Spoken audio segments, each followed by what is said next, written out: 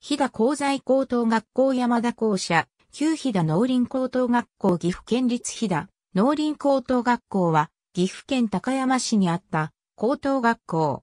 1973年に岐阜県立飛騨実業高等学校の農工分離によって開設。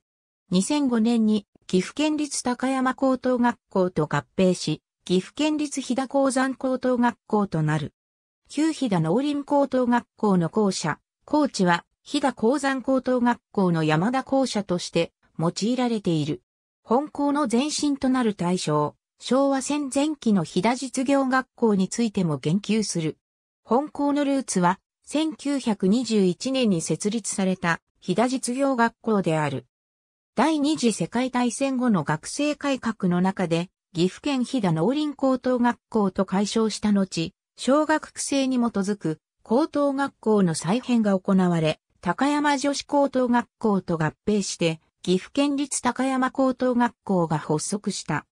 1957年に高山地区の高等学校の再配置が行われた際、岐阜県立高山高等学校及び岐阜県立飛騨高等学校の職業学科が統合され、岐阜県立飛騨実業高等学校が発足した。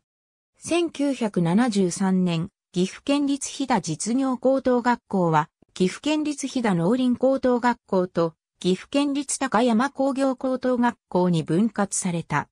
2005年、高山高等学校と飛騨農林高等学校及び、飛騨高等学校通信制課程が合併し、岐阜県立飛騨鉱山高等学校となった。ありがとうございます。